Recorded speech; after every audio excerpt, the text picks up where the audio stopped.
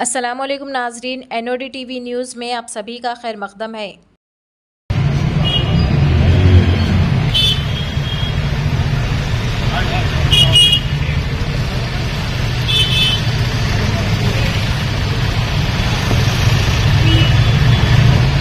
आदाब, आज और साउथ जोन का मीर चौक डिवीज़न में एक रॉडी काउंसलिंग रखा, जब भी आने वाले इलेक्शन को माइंड पे रखते हुए ये काउंसलिंग किया, ताकि उन लोग अच्छे से बिहेवियर रखने के लिए बोला गया और कोई भी एंटी सोशल एक्टिविटीज़ पे नहीं जाने के लिए भी उन लोग को वार्न किया गया।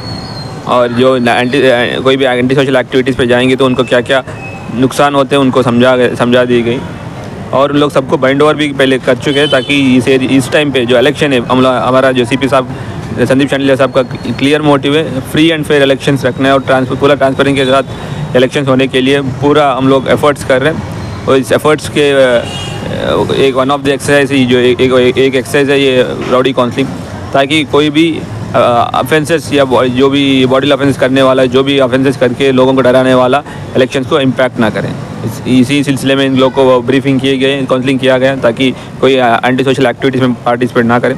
और साथ साथ हमारे मीडिया दोस्तों के द्वारा सभी लोग को हम लोग रिक्वेस्ट कर रहे हैं। ये पाँच साल पे एक आने वाला मौका, पाँच साल पे एक बार आता है हमारा इलेक्शंस बहुत इंपॉर्टेंट मौका है। प्लीज़ आके अपना वोट को ज़रूर इस्तेमाल कर लीजिए। थैंक यू जय हिंद। कितने पोलिंग बूथ है सर पूरे साउथ जोन पूरे साउथ जोन पे पंद्रह पंद्रह सौ से ज़्यादा पोलिंग बूथ है।